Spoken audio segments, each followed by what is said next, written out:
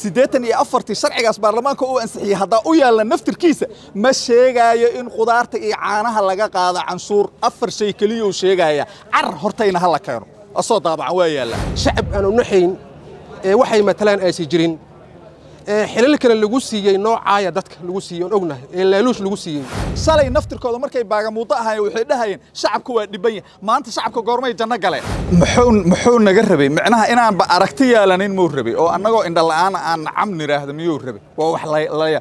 Mideeda kale see dawlad uga soo horjeeda anaaba dawlad ah xukuumaddii laba sano oo u dhammaatay wixii u qabsoomay keliya aan ka aragnay sawirro iyo baanarro meel lagu soo dhejiyey oo aan islaan wuxuu ilaahay ka irsaaqayo keliya kambaniyaasha daabaca baanarrada iyo waraaqaha bas ah wax kale oonan arag oy soo bandhigeen aysan jirin. Wasiirradu waxay ku rafanayaan ayagoo dadka hantidoodii baaba'san tahay.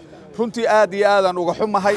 Haddii haddana qoladii inkaarqabayaasha ahaa ay gubeenna ambalaas inta loo keenay dadkii looma miciininoo wixii ka baaba'ayo ka busba'ayo ka gubanayay lagama gaarsiininoo xitaa caymis looma samayn in sharciga hadduu dawladda muhiimad gaar ay u aragto inay keentay baarlamaanka oo intaas soo jeer laga codsaday inay keen waysahay waa yandara aad u weyn. Waxaa laysu meeriyaa ereyga ah yaa la siyaasadayne. Ayaga dhan waa loo soo meeriyey. Maxaa siyaasad la yidhaahdaa? Boqol siddeetan labada wax laga keeni kara waxaa ka mid ah codaynta iyo rididda imbiijment garaynta madaxweynaha iyo guddoonka baarlamaanka.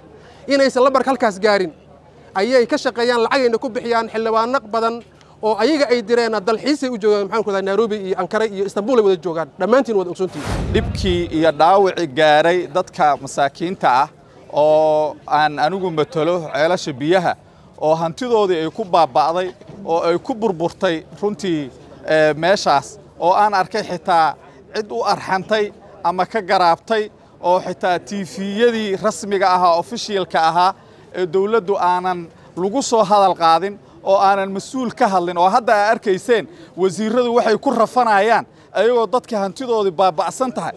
Runtii aad iyo aadaan uga xumahay dadkaas cidna uma maqna ceelna uma qodna ilaahay waxaan leennahay ha u boogadhayo ilaahay hantidu ay ka baaba'day oo ay beeleen. Shalay meeshuu ka siiyey. Ilaahay ha ka soo geliyo. Runtii ceelasha biyaha laba dhacdo xanuun badanaa iskugu xigsatay.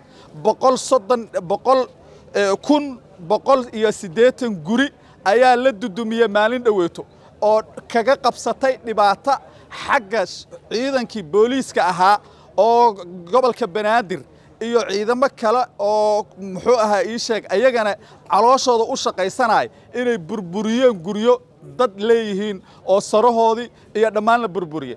Oo arkayseen shacabka waayeellada ah ee marasta ah ilinta ka socota ilaa iyo hadda qaxooti ahaan ayay duurka jiifaan. Sharciyadoodii way haystaan. Sharci loolama imaanin. Dadka iyo ayaga islama xukuntamin dhan garsoor waa u dulman yihiin. Dhan kale waa u dulman yihiinoo inta lagu dhejiyey la yidhi kaamiradii ayaa haddana loo waardiyey waay. Haddii haddana qoladii inkaarqabayaasha ahaa ay gubeenna ambalaas inta loo keenay dadkii looma miciininoo wixii ka baaba'ayo ka busba'ayo ka gubanayay lagama gaarsiininoo xitaa caymis looma samaynin waxaan leeyahay shacabka soomaaliyeedow dhibkiin ma yara. Intaas ayadoo ay jirtaa haddana waxaa lagu soo roga hodda hadda canshuur barbersonali ah oo wax la dhaafaayo aynan jirinoo wax kasta waa laga qaadaa la yidhi canshuurtaas waxaa laga qaadayaa caafimaadkii. Hooyadii saaki cunugeeda shuban biyoodka ku dhacay ee baxday ee caafimaad doonatay waa laga qaadayaa maskiinkii rootiga soo muxuu ahaa keliya labada dollar saddexda dollar haystay haddoo wax iibsado. Qof kastoo wax iibsado waxyaabaha la yaab kaloo sheekada raqiiska ah ama dooda raqiiska ah oo madaxda qaar ay jeedinaya waxaa ka mid ah e v c kama go'ays qofka e v c ilaa uu ka dhinta lacagta ma ku haysana? Saas ma ugu dheganaana mase waxbuu ku iibsanaa mar alla markuu damco inuu wax soo iibsado waa inay lacag ka go'o mar alla markuu damco marka runtii waa nasiib darro wasiirraduna waa aragtaa waxay ka hadlayaan waxyaabaha la yaab kale waxaa ka mid ah xildhibaanadii oo jooga maalintii maalintii la rabo baarlamaanka waxaa la yidhaahdaa kooram ma buuxsamin maalintii la rabana waxaa la yidhaahdaa kooramka waa buuxaa. Boqol afartan iyo labana ma dhaafo.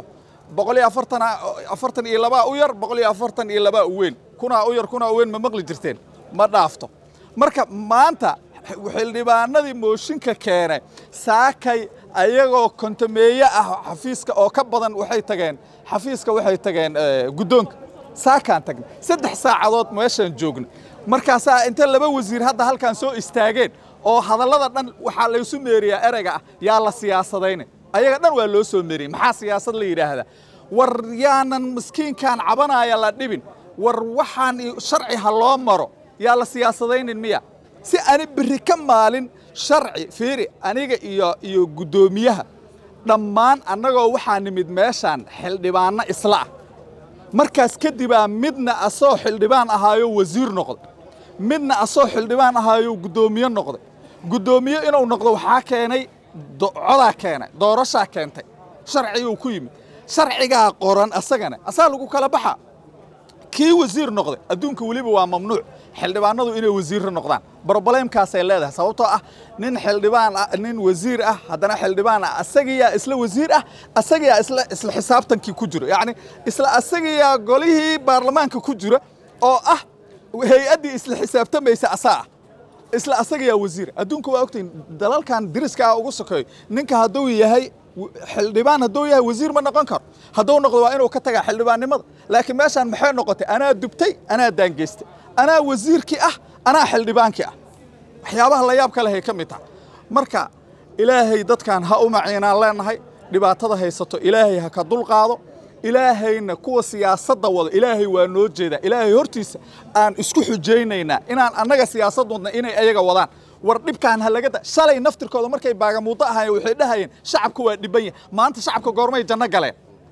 Su'aal marka waxaan leenahay ilaahay subxaana wa tacaala xaqa ummadda ha tuso cidda siyaasad waddana waa la kala waa la kala arki doonaa biidn illah wabillahi towfiiq xukuumadda waxay qabsatay labada sano ka soo wareegtay waqtigii la dhisay ra'isul wasaaraha su'aal bulshada weydiisay qaarkood wuxuu yidhi aniga ima qusayaan hay'adaha kale dowladda hal la weydiiyo ay qusayso.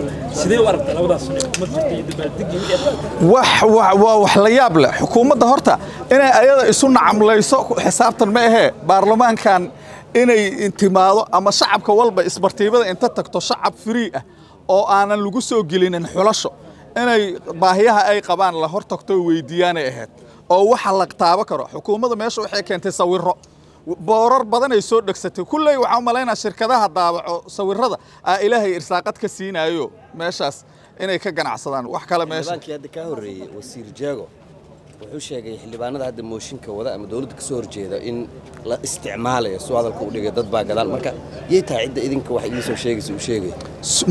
Muxuu naga rabay? Macnaha inaanba aragti yeelanin muu rabay? Oo annagoo indha la'aan aan nacam nidhaahda miyuu rabay? Waa wax laya. Mideeda kale see dowlad uga soo horjeeda anaaba dowlad ah. Sow annaga ma ahayn dadkii doorashadii madaxweynaha naga soo doortay? Xukuumadda asaga naftirkiisu iyo xukuumaddiisu sow annaga ma ansixinin sow ma aha muxuu ahaa ii sheeg xildhibaanadii golaha shacabka soomaal haddaynan u hadlin yacni maxaa maxaa iskugu wada aragti u noqon weysa miya? Waxaa la yidhi diidiina marka hore qolof ma lahaa jirin shimbiraha dhanaa u tashteen si ay u cunaan. Markaasuu yidhi meesha loogu tashanaya ilaahay ma joogino. Ma wuxuu rabay shacabka inaan u wada tashanno annaga dhan aan u midowno hal saf hadda haddaan wada geli lahayn xitaa hadda arrintan maalmahan laga hadlayo oo ah in shacabka cabashadooda baarlamaanka la hor keeno miyuu rabay kula tahay ninkan oo kale?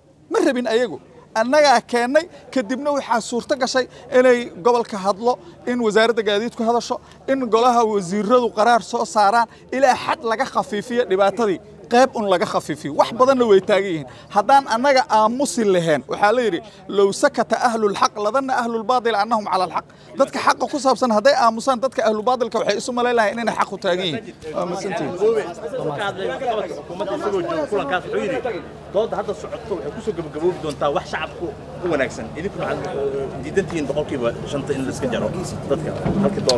maya waxaan rabnaa inay sharci noqoto waxaa la yidhi qodob waxay ku salaysan tahay la yidhi sharci baarlamaan uu ansixiyey oo siddeetan iyo afarti ah siddeetan iyo afartii sharcigaas baarlamaanka uu ansixiyey haddaa u yaalla naftirkiisa ma sheegaayo in khudaarta iyo caanaha laga qaado canshuur afar shay keliya uu sheegaya car hortayna ha la keeno asoo daabacan waa yaalla ha la keeno hortiinaan ku akhrinaynaa waana la arki doonaa wabillahi towfiiq thank you بسم الله الرحمن الرحيم الحمد لله رب العالمين وصلى الله على سيدنا محمد aad baad u mahadsantihiin saxaafadda shacabkina dhegaysanayana waa salaamayaa intaa kadib waxa weeyaan runtii waxaan aad ugu xunnahay in maanta kulankii baarlamaanka uu ballansanaa dhammaystirkii doodii socotay ee ka jawaabaysa cabashada shacabka inuu baaqdo.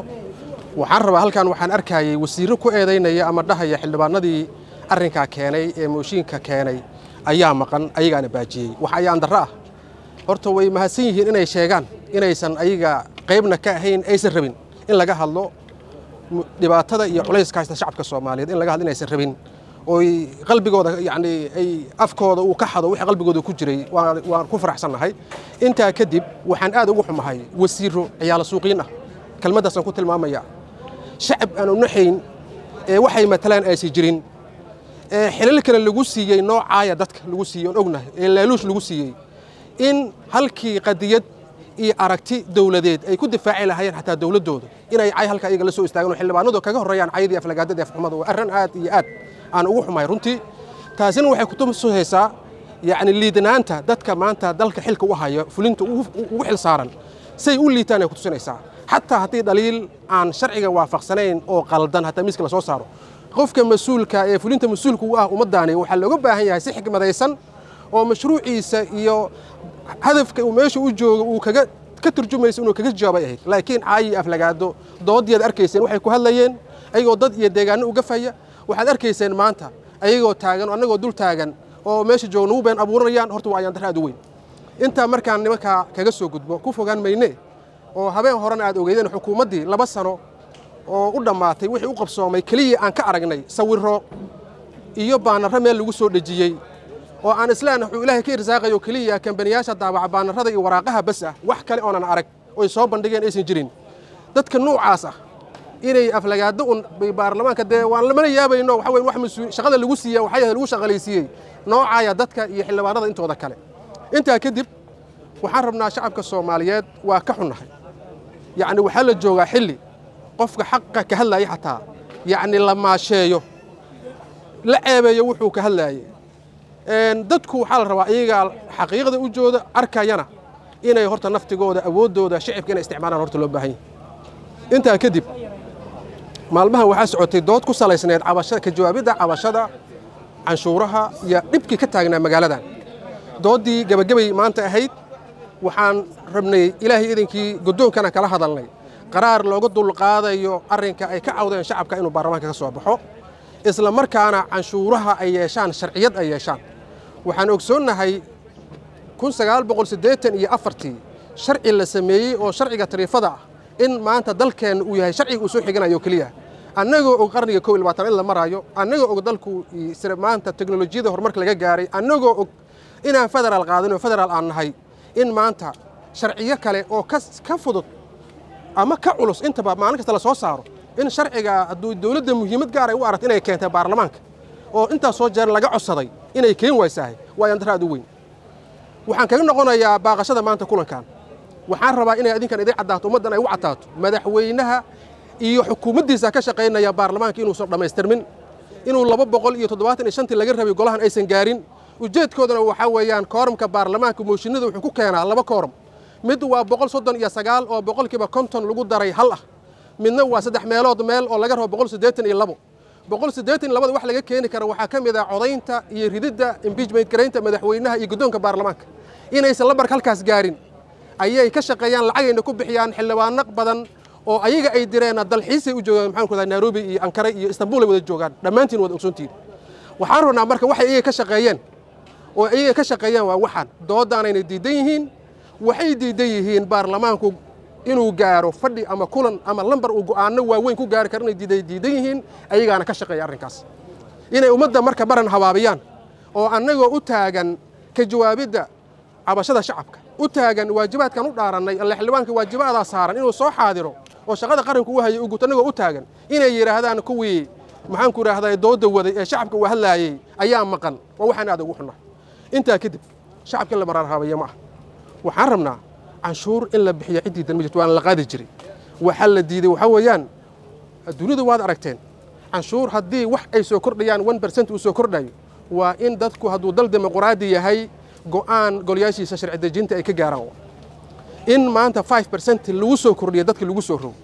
Oon ogsoonnahay canshuuro iyo lacago kale oo malaayiin doolar ah sharci darro lagu qaado oon ogsoonnahay dekadaas iyo magaalado dhan laga qaado oon ogsoonnahay dowladdu waxaa weeyaan xukuumadda qaraaran soo saaran ay yidhahdeen welina aan la fulin in agaasimo waaxeed go'aankiisa dadka lacagtaa looga jaro. Waa waxaan aad ugu xunnahay. Oo weliba ganacsatada xaraj kale la sii geliyo. Waxaan ogsoonnahay dalkeennu qaybo badan oo ka mid ah cadowga inuu haysto. Argagixisa inay haysato. Waxaa la rabaa qofka adiga aad cashuurta ka qaadanaysa amnigiisa aduu mas'uuliyadda gaarkaa saaran yahay.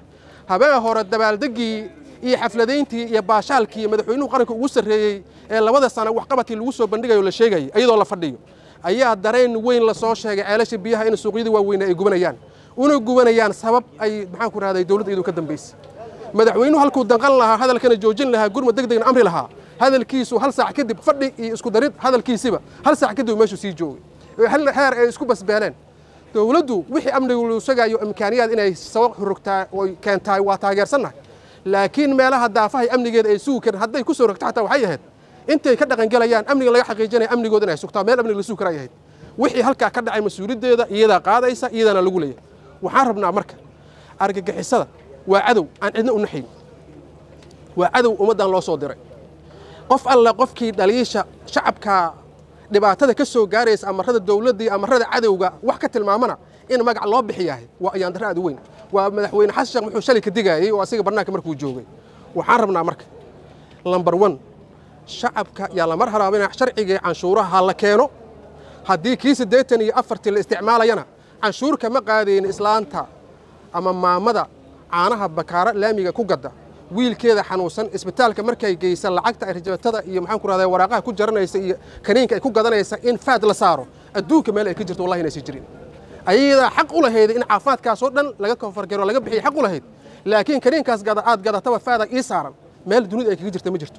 Sharciga ay soo xiganayaanna kuma qorno meel wiilka agoonka ah ee lacagta hooyadiis ay ka bixinaysa lacagta uu shubaaya faad ay ka saaran dunida meel ay ka jirta ma laha. Waxaan rabnaa marka sharciga intaan ka samaynayna xataa wuxuu banneeyey inay ku ekaadaan. Sharci la jaan kara qarniga koob iyo aan marayna iyo dalka federaal la jaan karna si deg deg ay ku keenaan. Waxa sharci darradan ay sameeyaan wax ay qaadeenna ma lahan shacabka aysan marar habaabinin intaas ayaan dhihi lahay aad iyo aad u mahadsan tihiin